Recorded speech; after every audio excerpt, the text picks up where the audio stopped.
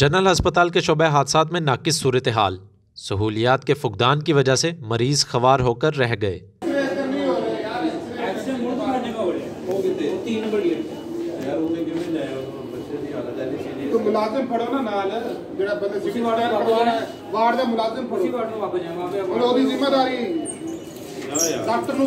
ہسپتال میں شعبہ حادثات ہنگامی صورتحال میں آنے والے مریضوں کی سہولت کے لیے بنایا جاتا ہے۔ مگر لاہور کے جنرل ہسپتال کے شعبہ حادثات میں حقیقت اس کے برعکس نظر آتی ہے۔ شعبہ حادثات میں گزشتہ چند روز سے ایکس رے مشین خراب ہونے پر لواحقین مریض کا ایکس رے فورینزک ڈپارٹمنٹ سے کروانے پر مجبور ہیں جو کہ شعبہ حادثات سے کئی سو میٹر کے فاصلے پر ہے۔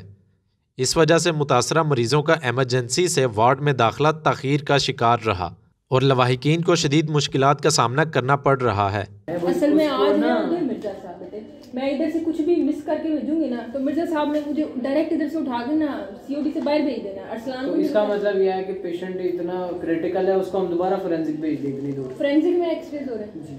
کیوں؟ ہمارے والا مشین خراب ہے۔ That is quite- شعبہ حادثات میں وارڈ بوائے بھی موجود نہیں جس وجہ سے لواحقین خود ہی ٹیسٹ کے لیے مریض کو ایک ڈپارٹمنٹ سے دوسرے ڈپارٹمنٹ تک لے جانے پر مجبور ہیں۔